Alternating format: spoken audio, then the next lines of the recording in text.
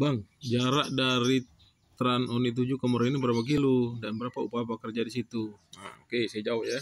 Satu, jaraknya dari Morinim ke Tran Uni 7 itu 12 km lebih kurang. Kemudian upah kerja eh, harian lepas sampai jam 12 siang 50.000 sampai jam 2 siang 100.000 kemudian untuk nyemprot 80.000 per liter.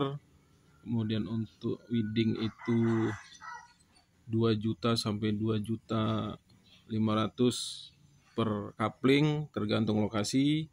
Kemudian untuk manen sawit itu eh, 200 sampai 250 tergantung lokasi. Kemudian upah tukang itu 150 dan kena 125 tergantung negosiasi